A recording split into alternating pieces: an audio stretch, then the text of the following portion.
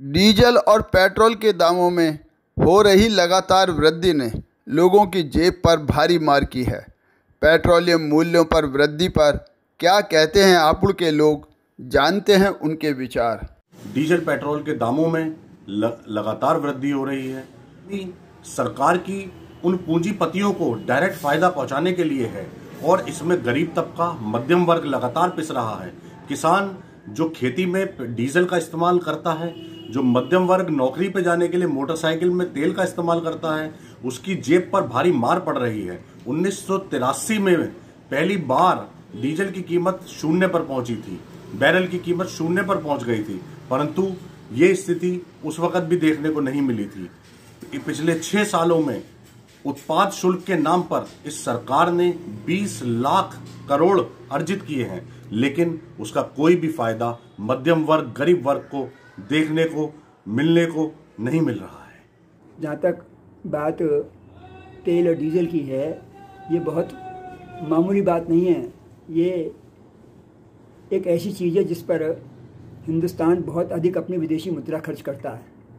आज उसे जब से ये इनका सौभाग्य था, आज गवर्नमेंट का, कि जिस समय इनके हाथ में सत्ता आई, एकदम डीजल के या पेट्रोल के दाम इतने नीचे चले गए इंटरनेशनल, कि उसका ये बेनिफिट अगर चाहते तो बहुत ऊंचाई पर उठा सकते थे।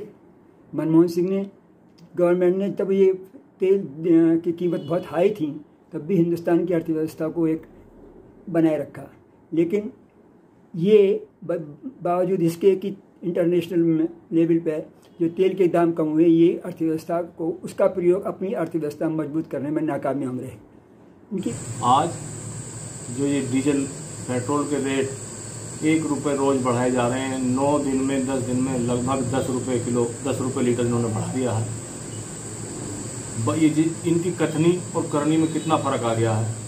आज लॉकडाउन के समय में किसान परेशान है, व्यापारी परेशान है और सरकार अपना पेट भरने में लगी हुई है। मेरा इनसे बार बार कहना है, जिस प्रकार से आज किसान बेहाल है, व्यापारी बेहाल है, ये क्यों बढ़ा रहे हैं पैसा? सभी जनता, पूरी जनता, पूरे देश के लोग परेशान हैं और महँगाई दिन पर दिन बढ़ती जा रही है। पेट्रोल और डीजल के रेटों ने लोगों की कमर तोड़ रखी है। हर वर्ग का लोग परेशान है, किसान परेशान है, मजदूर भाई परेशान है कि पेट्रोल और डीजल की कीमत इस कदर बढ़ा दी गई है इस सरकार में। इस सरकार का दावा था कि हम पैंतीस रुपये लीटर पेट्रोल देंगे। लेकिन आज आप देखिए, पेट्रोल की कीमत किस किस हद तक बढ़ती जा रही है? हर